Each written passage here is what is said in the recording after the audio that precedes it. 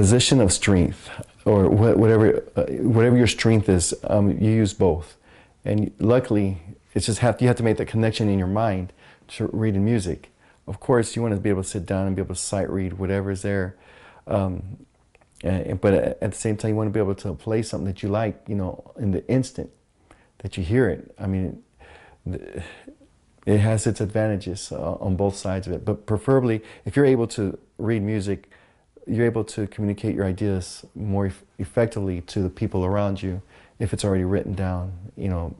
And so it, it's um, it's been very valuable to me in in in all my years of music. So it's been very helpful.